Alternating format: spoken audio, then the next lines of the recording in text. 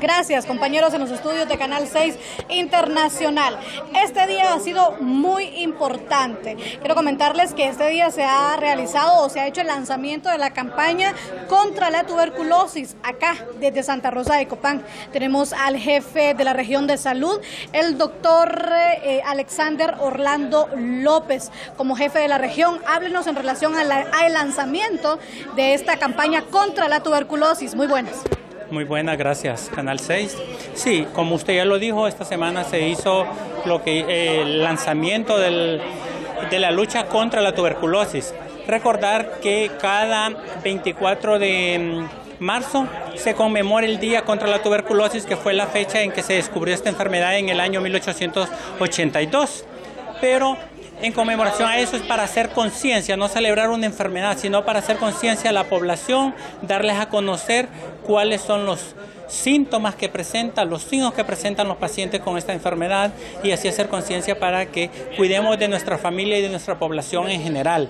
Eh, recordarle que uno de que los síntomas que presentan es tos productiva o tos con con gargajo como la población llama por más de 15 días, sudoración nocturna, fiebre, pérdida de peso y cansancio son los signos más relevantes que presentan eh, los pacientes que han adquirido esta bacteria, porque es una bacteria, eh, microbacteria en tuberculosis, y es por ello que eh, todos los años se hace esta actividad. Esta semana, toda la semana habrán diferentes actividades. Concluiremos el viernes con una maratón, siempre en apoyo a lo que es la tuberculosis, en contra de la tuberculosis y un llamado a la población que si conocen alguna persona que presente más de uno de estos síntomas, se aboque a cualquier establecimiento de salud para que se pueda realizar las pruebas, que es totalmente gratis. La Secretaría de Salud es la única también que cuenta con el tratamiento para esta enfermedad. Recordarle que esta es una enfermedad mortal, pero a la vez también es curable. Si la detectamos a tiempo, es curable.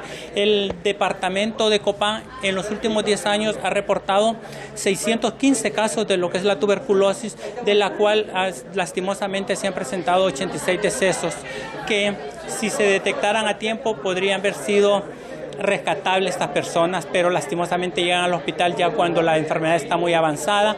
Eh, tenemos lo que es la tuberculosis pulmonar y la tuberculosis extrapulmonar que esta afecta más que todo otros órganos como ser riñones, cerebro, huesos y ya es difícil cuando llega en etapas avanzadas. Eh, tenemos la dicha de contar a nivel regional con un equipo y una prueba especializada que por el momento en el occidente solo la región nuestra cuenta con ello como es la prueba de Gene Expert Ultra, que a las dos horas de haberle tomado la prueba y haberla procesado ya tenemos lo que es el resultado, si está positivo o está negativo el paciente e inmediatamente se inicia ya lo que es el tratamiento que dura seis meses, hacerle eh, de conocimiento también de la población que debe finalizar con este tratamiento, porque al iniciar el tratamiento ya el paciente deja de, de infectar a otras personas. Sí, sí, deja de contagiar. Al, nomás el iniciar con su tratamiento ya deja de contagiar a otras personas, pero por eso no debe abandonar su tratamiento. Dura seis meses y los seis meses debe cumplirlo porque a un futuro se nos puede hacer drogo resistente, como le llamamos nosotros, que ya no, no le va a llegar ese tratamiento. Y Em, eh, nosotros estamos constantemente, cuando diagnosticamos un caso de estos, realizándole prueba al mes si el tratamiento no está funcionando al 100 el paciente está negativo, pero él debe cumplir con los seis meses de tratamiento para decir que está libre de esta enfermedad. Como Secretaría de Salud también le estamos apostando que para el 2030 no reportar casos de tuberculosis, eh, no reportarlo, que cuando hagamos rastreo no hayamos una persona con esta enfermedad que como le dije al inicio es mortal pero es curable al mismo tiempo importante eh, también preguntarle, consultarle, doctor, si una persona está contagiada de una familia, ¿qué, riesgo corre toda la familia? Bueno, esto se contagia como estamos aquí. Eh, más cuando la familia vive en hacinamiento.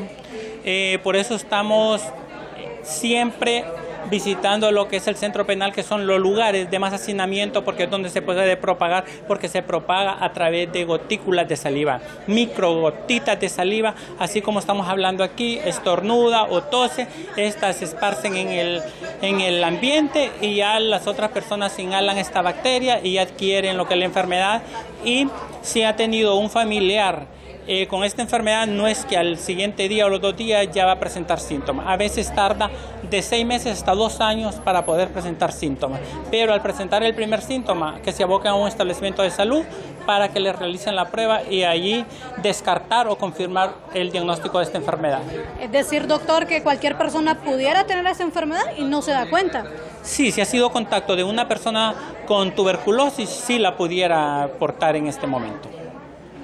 Muy bien, con este importante reporte de salud, hoy que se, se realizó lo que fue la campaña en contra de la tuberculosis, eh, regresamos a los estudios principales de Canal 6 Internacional.